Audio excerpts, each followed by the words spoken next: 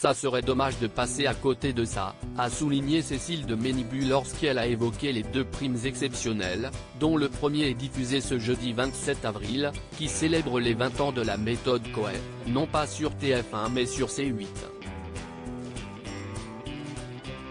Si elle ne se dit pas très nostalgique du passé, l'animatrice de ce divertissement, qui réunissait chaque semaine, en deuxième partie de soirée, près de 4 millions de téléspectateurs, est tout de même revenue auprès de Gala.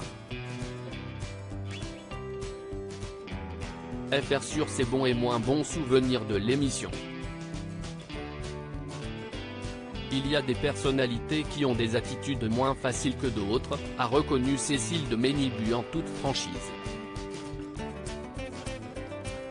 Et de préciser dans la foulée, ce que je n'aime pas, c'est l'humiliation.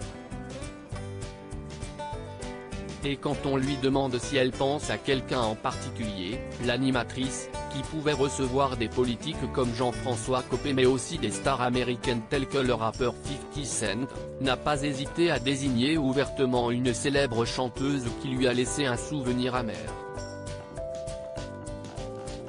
Lio a humilié Cartman et Miko pendant qu'ils faisaient leur sketch, en prenant son micro et en disant « Si est nul ce que vous faites ».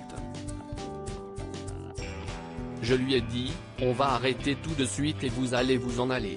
J'ai trouvé ça tellement méchant, c'est ainsi souvenu la complice de Koei auprès de Gala.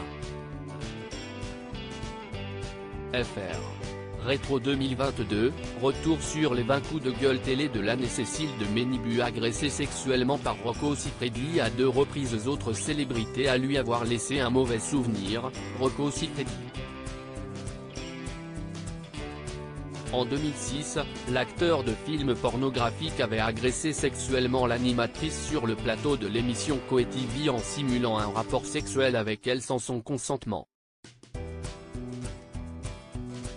À la limite, ce qu'il a fait sur le plateau, si est nul. Ce qui est terrible, si est ce qu'il a fait en coulisses, me choper et me fourrer sa langue dans la bouche, a-t-elle souligné lors de son entretien à Gala. FR. Article écrit en collaboration avec 6 médias. Crédit photo, Véan.